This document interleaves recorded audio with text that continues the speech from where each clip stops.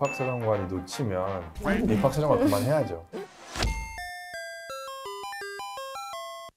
안녕하세요. 유니브 클래스의 민영쌤. 상일쌤입니다. 네, 오늘은 저희가 입시특별 연구반으로 돌아오게 되었는데요. 상일쌤, 요즘 댓글로 인기를 조금 실감하고 계신가요? 아니 저는 무서워서 댓글을 못 보고 제가 있어요. 댓글 읽어드릴게요. 아, 나 민영쌤도 너무 좋은데 상일쌤도 너무 좋아.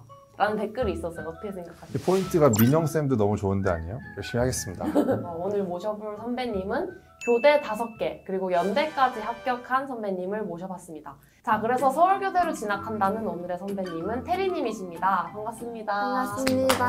자기소개 한번 네. 해주세요. 안녕하세요. 서울교대 1학번 새내기 김태리입니다. 네, 저희가 연구반 선배님으로 모셨기 때문에 기본적으로 좀 물을 건 묻고 시작을 할게요. 자, 일단 서울교대는 어떤 전형으로 가셨죠? 저는 수시 학종으로 갔고 사양인재 전형으로 갔습니다. 그럼 목표 대학이 원래부터 교대였어요. 네, 교대는 다 목표로 했었고 서울교대가 일지망이었어요. 나머지 붙은 학교들도 소개를 해줄 수 있을까요? 경인교대, 청주교대, 대구교대, 교원대 넣었고 나머지 하나는 연세대 아동가족학과를 넣었습니다. 그러면 서울교대가 이제 내신이 받쳐줘야 쓸 수 있는 학교다 보니 우리 학생 내신 성적을 한번 훑어보도록 하겠습니다. 전 과목 내신 평균이 1.34예요. 이게 이 정도면 사실 전교권인 내신인데 전교 네. 혹시 몇 등이었나요? 1등? 아 어쩐지 우리 태리님이 제가 딱 전교 한 3등 안에 들겠다고 생각을 한 게 물론 내신도 좋지만 또 하나 생기고의 포인트가 있습니다. 맞아.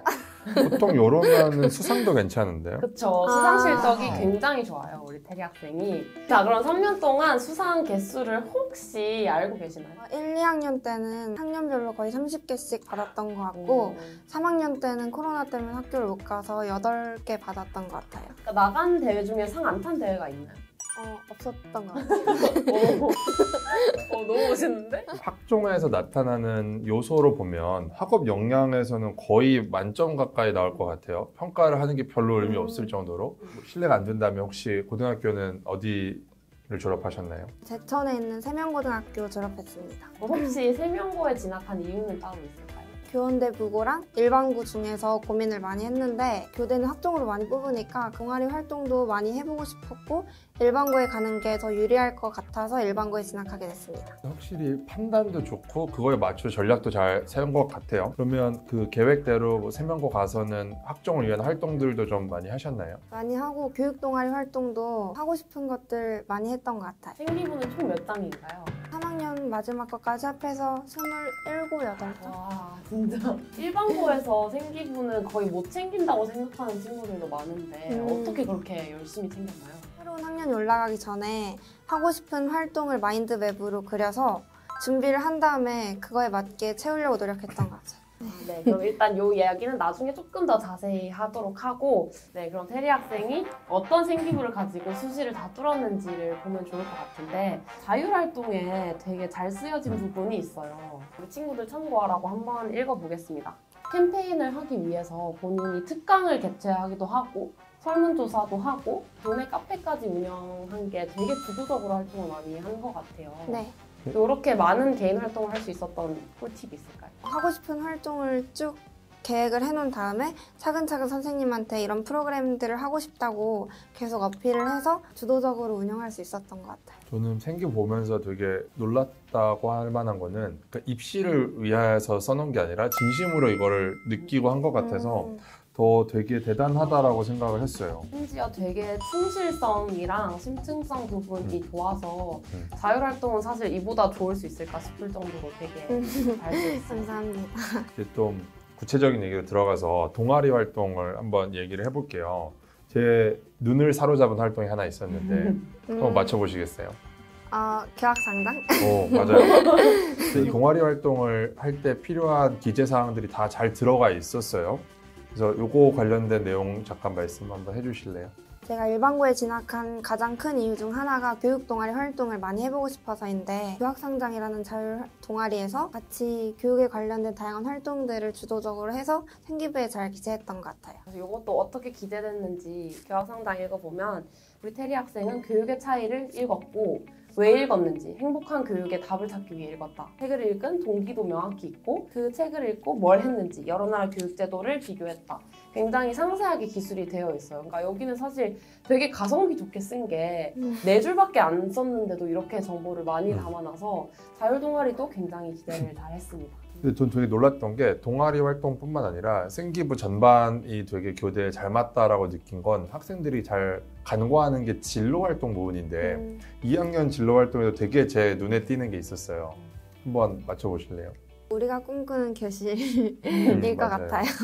자, 요거는 되게 잘 썼고 특히나 교대나 아니면 사범계열 교수님들이 되게 좋아하실 음. 내용이에요. 왜냐하면 일단 첫 번째로 미디어 리터러시 교육에 관심이 많다. 이렇게 교육 중에서 어느 분야의 교육인지 되게 구체적으로 적어뒀죠. 이것만 봐도 교육을 겉핥기식으로 찾아본 학생은 아니구나 하는 삘이 딱 오고 그리고 사실 유튜브랑 학생들의 교육을 어떻게 연관시킬지가 교수님들이 되게 약해요. 근데 하나 이길 수 있는 게 있다면 요즘 떠오르는 주제를 조금 더 빨리 습득하고 교육 현장에 어떻게 적용시키느냐 요거 하나는 학생들이 잘 활용할 수 있는 무기인데 그걸 되게 잘 활용한 것 같습니다.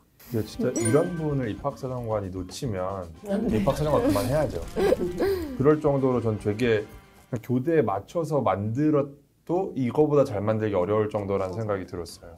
아, 그리고 테리 학생이 역시 이거 잘하는 학생이 저것도 잘한다고 동아리 진로도 물론 잘했지만 제일 중요한 세특도 본인의 관심사를 잘 살려서 워낙 잘 써줬어요. 1학년 통합사회 세특을 보면 미래 교사가 되어 문화 다양성을 인정하고 받아들여 여러 문화가 조화를 이루며 발전할 수 있도록 해야겠다고 다짐한다라는 문구가 있어요. 이게 되게 인상 깊었던 게 보통 나중에 교대를 가려고 갑자기 생기부에 넣는 경우가 있는데 이게 1학년 때부터 들어갔다는 게 저는 되게 좋았어요. 자 이렇게 1학년 통합사회에서는 조금 본질적인 얘기를 했죠. 뭐 다문화라던가 요거는 항상 클래식하게 있어온 사회 문제고 현실 문제에도 되게 관심이 많다는 것도 나와 있어요. 1학년 진로와 직업 세특을 보면 교사가 갖춰야 될 인성에 대해서도 알아봤고 특히 인구 감소에 따른 교원 수급 문제 이거는 클래식한 문제라기보다는 교대 특히 학교와 관련된 직업을 가진 분들한테 요즘 더 많이 떠오르는 문제잖아요. 그래서 옛날부터 중요한 문제도 다뤘고 요즘에 조금 더 중요한 문제도 다뤘다는 점이 1학년 생기부가 아주 밸런스가 좋다는 걸 보여주는 것 같습니다. 음, 좀 여태까지 들으니까 좀 뿌듯하신가요? 네. 근데 되게 진정성 있는 게 독서 내용도 이 내용에 맞춰서 뭐 살아있는 다문화 이야기, 교육의 차이 이렇게 되게 일관적으로 잘 적어 주셨어요. 뭐 얘는 교육에 진짜 고민을 많이 한 학생이구나가 너무 잘 드러나는데 그 학생들이 저희한테 독서 관련한 질문도 되게 많이 하거든요. 음. 혹시 해줄 말이 있을까요? 책은 무조건 세특이랑 연계해서 고르면 좋다고 생각하는 게 수학에서 미적분을 배웠으면 미적분에 대한 발표를 하고 거기에 대한 미적분 관련 책을 읽은 걸 독서에서 보여주면 연계성 있는 생기부를 만들 수 있다고 생각해요. 근데 어떻게 알았어요? 수시로 갈 생각이어서 수시에 대한 공부를 좀 많이 하고 세특 적는 방법이나 그런 것도 많이 생각해서 잘 오, 생기부를. 진짜 신기하다. 아, 스스로 공부를 해서 만든 노하우라는 거죠. 네. 그러면 독서 얘기를 했는데 세특 관련해서 또 친구들한테 해줄 만한 팁이 있을까요? 국어 시간에 배운 내용을 가지고 사회 세특에 그걸 동기로 적고 사회 세특에 느낀 변화를 가지고 과학 세특에 동기로 그걸 적는 거예요. 이렇게 해서 모든 과목에서 통합적인 사고를 가지고 있다는 걸 어필할 수 있을 것 같아요. 아, 우리 테리 학생 생기부에 활동이 너무 많아서 음. 제가 칭찬만 할- 하다가 영상이 한 시간을 넘어갈 것 같아요. 그럼 우리 테리 학생이 꼽은 내 생기부에 베스트 원이 있다 하면 뭘까요? 무지개 교실이 베스트 원 활동인 것 같아요. 교육에 관련된 내용인가요?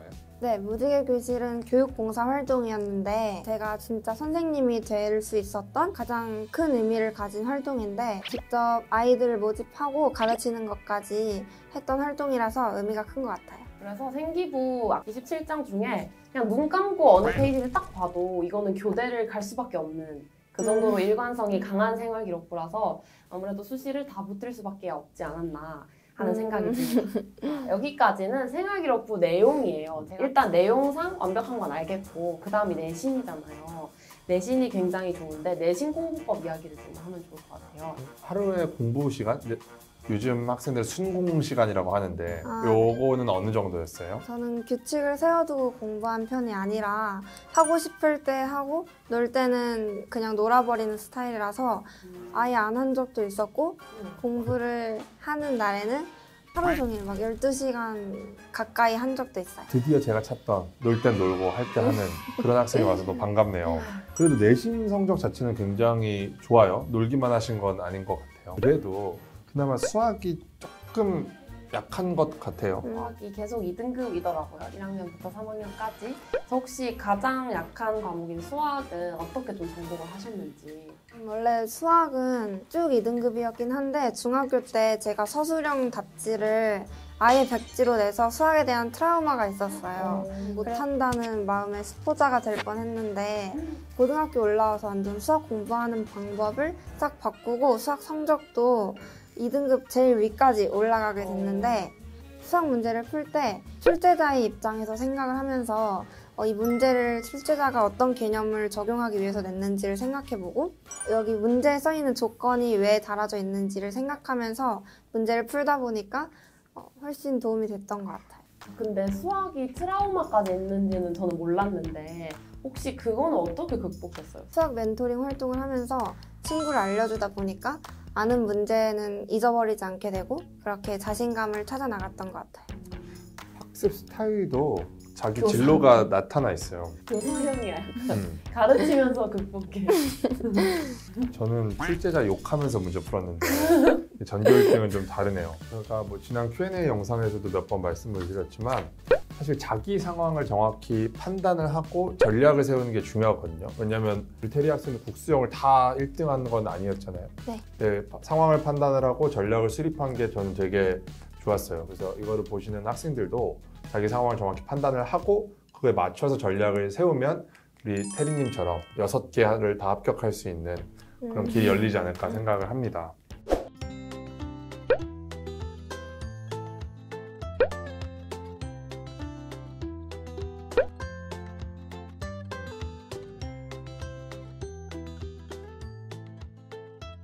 네, 이 정도면 우리 유클 친구들한테 도움이 될 이야기도 충분히 한번 다뤄본 것 같습니다. 수시에서 어마어마한 성공을 거둔 우리의 유카 테리님을 한번 만나봤는데요. 테리님의 수험 생활을 한마디로 정리한다면 뭘까요? 김태리님은 학교 내신은 수업을 기본으로 하고 비교과는 본인의 꿈으로 채워간 그런 생기부, 그런 수험 생활이라고 볼 수 있습니다. 수시는 내신과 비교과라는 큰 두 축이 있잖아요. 근데 이제 학생들이 뭐 하나에만 집중하는 경향이 강한데 우리 태리님처럼 내신과 비교과를 둘 다 균형을 잡고 가는 게 이제 합격의 비결 이 아닐까 싶습니다. 네, 이렇게 테리님이 알려주신 꿀팁을 잘 실천할 수 있는 유클 친구들이 되시길 바랍니다. 자, 그럼 모두들 구독하고 대학 가자. 안녕. 안녕.